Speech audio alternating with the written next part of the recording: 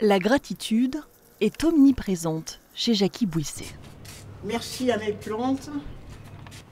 Merci à Nice. Merci au soleil, à tout le climat. Merci à tout ce qui m'a été donné. Merci.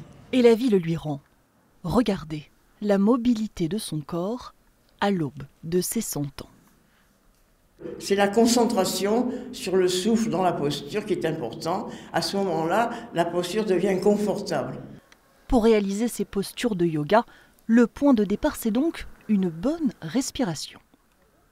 Quand l'inspire se déclenche, doucement, je relâche et je laisse monter le souffle jusqu'au cerveau. C'est l'essentiel dans notre vie, le souffle. Et la majorité des gens ne savent pas respirer. J'inspire. La yogi enseigne toujours le yoga. Habituellement, autour d'elle, ses élèves prennent place sur ces tapis.